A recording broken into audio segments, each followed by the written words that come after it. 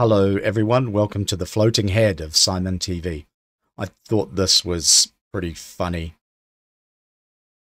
This is Christopher Luxon, New Zealand's new Prime Minister. He's currently leading a trade delegation to Japan, and the vestigial media couldn't resist taking a crack at him. While there, he made a flippant remark that proved injudicious. He described the business leaders who had accompanied his predecessor, the Labour Party Prime Minister Jacinda Ardern, on similar trade missions as C-listers.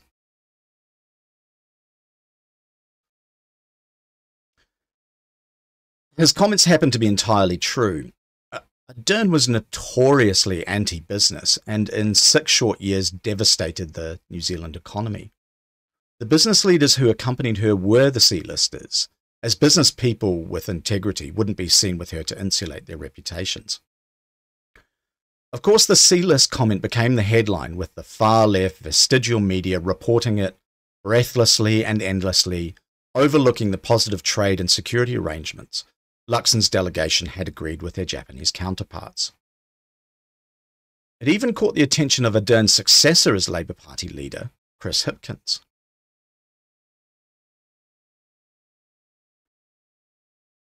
Here's the man pictured here wearing a burqa, standing beside the oleaginous Fijian agitator, Shanoil Lal. Hipkins doesn't normally wear a burqa. I superimpose that to spare your sensibilities. I, I did this because Chris Hipkins is openly ginger. Out and proud, openly ginger. He seldom even wears a hat to, to cover his shame. Ladies and gentlemen, I'm about to take his burqa off to show you what he looks like.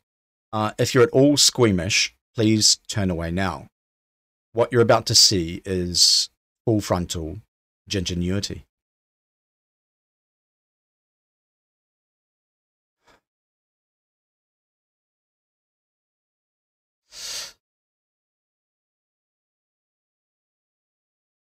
Hipkins often attends ginger pride parades.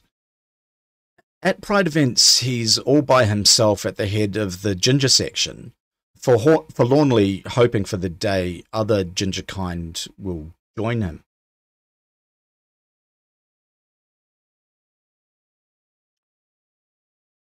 Okay, sorry about that, folks.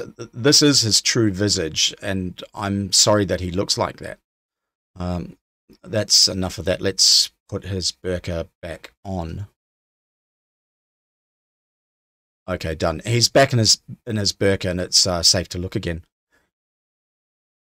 Hipkins felt obligated to defend Ardern's tap, tattered reputation and turned to the X platform in order to do so.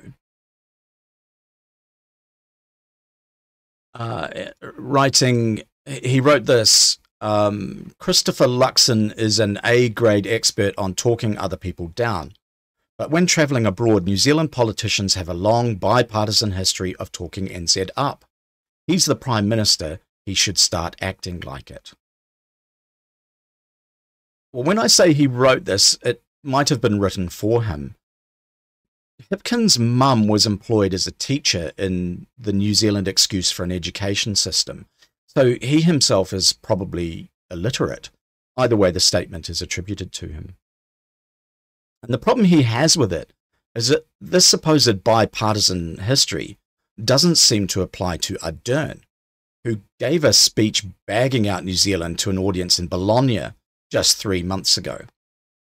Have a listen to what she said. The transition was rapid and bumpy. Unemployment reached as high as 10% and 25% for Maori, the indigenous people of New Zealand. Government debt levels were also diagnosed as unsustainable a significant cut in government spending was announced, which particularly hit those on government support, such as unemployment benefits or those who were solo parents. I was 11 years old when what was known as the mother of all budgets came out. It was so controversial, I even recall seeing a cartoon as a child that depicted the then Minister of Finance standing over a large cauldron of soup with a child begging for more. One commentator at the time stated that the budget formalised the stratification of New Zealand society. Now, through such periods of political complexity, sometimes The lens of a child is telling. My recollection of this time is not of the political machinations, but the impact on people. I remember the children in my school without shoes as certain industries closed. I recall the spread of illnesses that are associated with poverty. I remember a neighbour's son taking his own life. So, even more charming diplomacy from Ardern. But according to Chris Hipkins, the leader of the Labour Party and monument to vaginal dryness, the rules once again don't apply to his friend and mentor Jacinda Ardern. Not just our worst ever Prime Minister, a leading candidate for the worst New Zealander who has ever lived. Ladies and gentlemen, be warned. Ginger kind are devious and not to be trusted. Never elect one. Thank you for watching. See you next time.